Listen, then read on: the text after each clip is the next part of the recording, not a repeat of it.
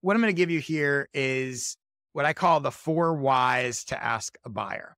So it's four questions that you want to ask someone after they buy, which is going to reveal a lot of information that you can then use to help with your messaging and, and future pitching and presenting and all that. So the first question is, why did you buy now? Not just why did you buy, but what something happened in their world that precipitated them deciding now's the time to buy this thing. So that time component, right? Not just why did you buy, but why did you buy now instead of last week or last month or last year? Really, really powerful.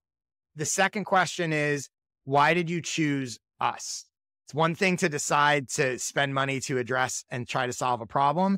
There's a reason they chose you as opposed to other options. And you want to know what that reason is because it gets to your differentiation point. Then the third and fourth questions are actually sub questions of another question. So, what you want to do is you want to ask them on a scale of one to 10, how would you rate your current performance in whatever it is that you help them with?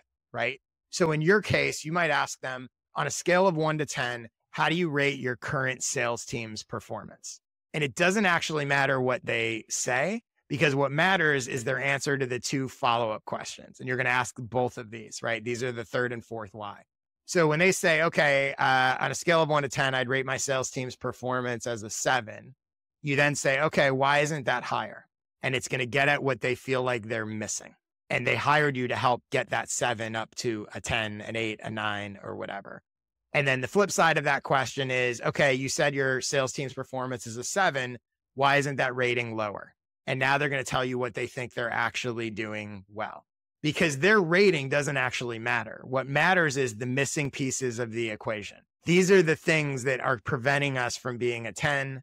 These are the things that we're doing right. And this is why we're not a one.